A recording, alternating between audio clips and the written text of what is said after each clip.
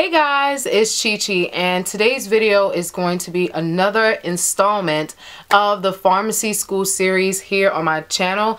So thank you guys again for tuning in. I appreciate all the views and all the comments um, and everything else that you guys have um, given to me since I've been doing these series.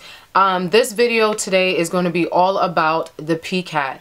If you guys don't know what the PCAT is, it is the pharmacy college um, examination that you have to take to apply into a pharmacy school. Now, this video only applies to those who are doing pre-pharmacy um, like the prerequisites and they're currently doing it at a school which does not have the pharmacy school program. So the thing about that is if you are in a school um, that does not offer the actual pharmacy school, that means that you have to do all the prerequisites first before transferring into the program and into the doctoral program, which is the PharmD um, curriculum, which is a terminal degree. So yeah, if you guys need to know any, if you want to know any more information about like um, prerequisites or um, how to complete your application and all that type of stuff, I have a playlist down below. Um, and if you guys have any other questions, you guys already know. You can always leave me a comment. I most likely will reply so yeah so this video is going to be all about the um the pcat exam um i'm actually missing something now okay hold on. Let me get my thing. Okay sorry about that. So basically um this video is going to be all about the pcat exam. And again apologize. The pcat exam stands for pharmacy college admission test. And that's usually the test that you take before you get into pharmacy school. So I know I have a lot of people who are thinking about going into pharmacy. And they want to know like what you have to do to take the exam. How did I prepare to take the exam? And you know how um, successful was I so um, I just want to lay out what the PCAT exam has. so there is one, two, three, four, five, six. There's six sections on the PCAT exam. Um, there's the writing section, which is 30 minutes. The verbal section, which is 25 minutes. The biology section, which is 35 minutes. The chemistry section, which is 35 minutes. Um, and then you have a rest and then there's a reading comprehension which is 50 minutes and the quantitative ability, which is 45 minutes. Now, you're thinking in your mind, this starting to sound a little bit long.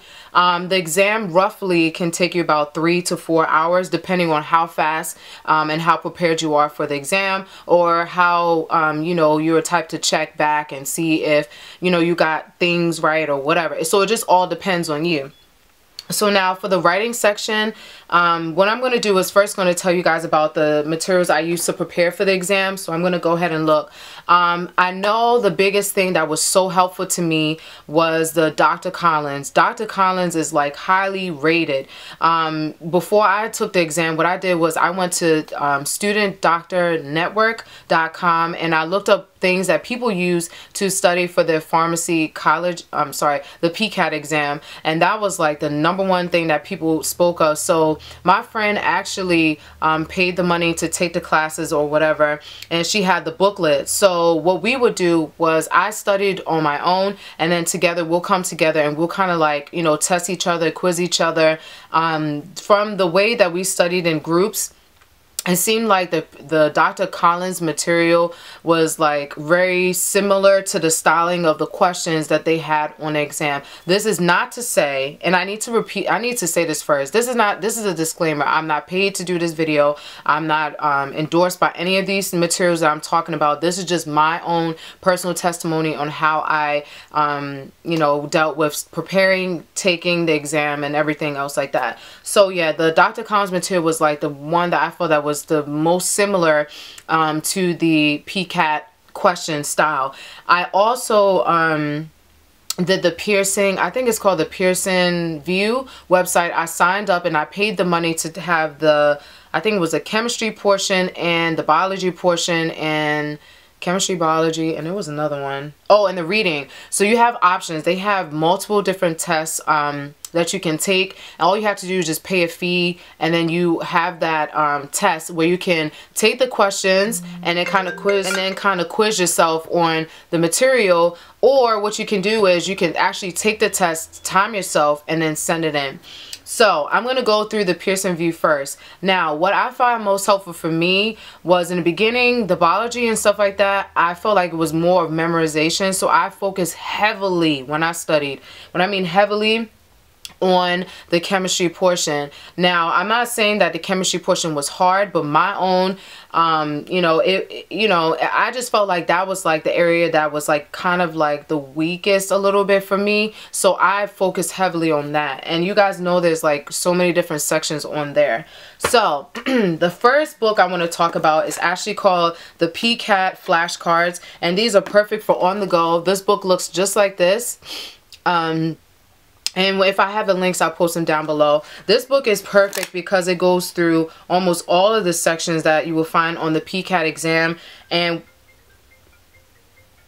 okay. And actually, these are all the ones that has, it has like um, the analogies for the verbal part, for the quantitative parts, it has word problems. I mean, these are just set up like little mini flashcards with the answers on the front and on the back. Um, the next helpful item I had was a book called Mastering the PCAT. It says score high on the pharmacy college admission test.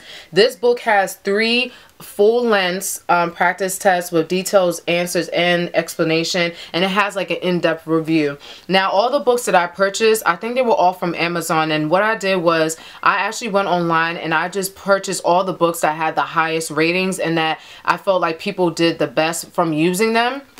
And this book, as you guys can see, is fairly thick. I barely touched this book, but I did use this book every now and again to kind of like touch up on like details and things like that. Um, the book that I can tell you I used the most was this one. As you guys can see, this is the Kaplan um, PCAT Strategies Practice and Review. It has two practice tests and it has the online portion and the book version. So basically, um, you can schedule as many tests as you want, um, you know, depending on the calendar um, that they have available, and you take the exam. The only thing I didn't like about this exam is that they didn't have a writing portion and I really felt like I probably could have benefited by having that but they did have like the quantitative the biology the reading comprehension and the um the verbal part. So all the parts are in there except for the um the writing part. But the thing is they do time it. They have like a chat room where you guys can you know go in at first if you have any questions and then they begin the test. So this was really really helpful. I really like this book Another book that I had based on reviews from online was the Pearson, no, I'm sorry, it's the Princeton Review. Sorry, my thing is going off in the back. Hold on. Okay, so um, this book is a Princeton um, Princeton Review. This book is the PCAT also review book. It has two full-length practice tests and also it has um, two full-length tests that are only um, online and it has extensive reviews on the chemistry, biology, and quantitative subjects. Now what I want to say is this book I barely touched it. The reason why is because I just gravitated to, towards the Kaplan book. But when I reviewed it, like every once in a while, I really noticed that this book was fairly, fairly, fairly, fairly detailed. And, um, you know, it's just kind of like the Kaplan book. I felt like the Kaplan book and this book was the most detailed out of all the books that I had. Um, so I tend to gravitate towards the Pearson VUE, um, practice test online. Um, when I did study groups with my friends, we did like the Dr. Collins um, practice stuff and the materials together. And then also um, the the online exams from Kaplan. Now, I'm going to tell you guys some tips and some tricks that I felt like really helped me a lot when I took my own exam. So the thing that I felt like was the most crucial part of this exam was the timing. Now, the timing is so critical. Let me tell you why. Okay, so you have 30 minutes when you take the um, the writing sample. You got to be able to think quick on your feet. Like this exam, you cannot it's not like the SAT where you can leave blank questions. If you leave a question wrong, I mean, if you leave a question blank on the exam, it is automatically wrong.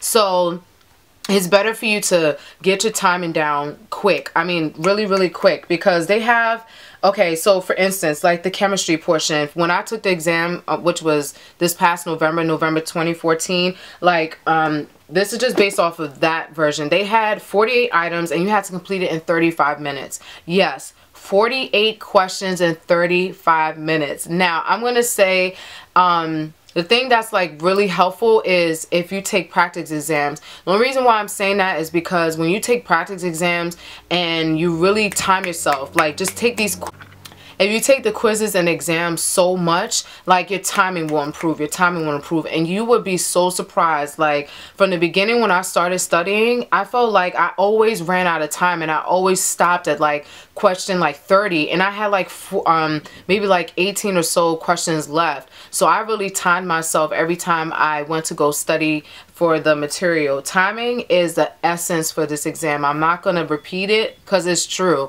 If you are the type that you know that you're not good at reading I would kind of brush up on that and you know just kind of figure out ways to improve how you can critically read or you know stuff like that looking at you know just looking at challenging books or something like that just to help improve. Um, another thing that was helpful was the the study groups that my friends and I did. We constantly were quizzing each other. We'll call each other, text each other on the phone, and you know try to see how quick we can think on our feet. Like that. That was really really helpful. And let me see another thing. Oh, the day before you go to the exam. Oh, sorry. The day I prepared, it took me about, I prepared for the exam for about like a month and a half. Mind you, I prepared for this exam while I was still in school. So it was not only that I had to worry about, it's also about my classes. I can't just get in and then be failing my classes. So it's kind of like you have to be having good time management skills um, to kind of balance the, um, the two together. Um, also, um, leading up into the week of the exam, I would just focus on just retaking tests over and over and over just so you can get your time down. And not only get your time down, but make sure you get your time so it's so quick and you also get the right answer. Because one mistake can just make the answer wrong um, and also like the day, the probably like the week leading up to exam, I would not suggest going out to eat to eat stuff you don't um, that you regularly don't eat. Um, I would try to keep your mind in a set pace where you're going to bed a little bit early because like me, I was pulling all nighters and it was so hard to get out of that like leading up to the exam. So I had to cut myself off to go to bed around like 9 or 9:30 every day just so my mind can be you know my body can be adjusted to like the time that I was changing leading up to the exam. And also make sure the day before the exam you get plenty of rest. If you are the type that you know you have anxiety about tests I would first tell you to pray on it and just leave it to God. And also, I would just highly suggest that um, you get a lot of rest before the exam because this exam is so long. Like, I couldn't believe like I was in there for that long. And you just want to make sure that your stamina is up. That's why I keep saying take tests over and over and over again um but yeah that's pretty much it. Those are some of the tips and stuff that helped me with my pcat exam. And if you guys have any other questions just let me know. Um i have my email down below and i also link my playlist to all my other pharmacy school series that can answer some other questions. And yeah thank you guys so much for watching and i'll talk to you later. Bye Oh yeah, and good luck if you're studying for your PCAT exam. I wish you the best and I know God is going to be always there for you. Mwah.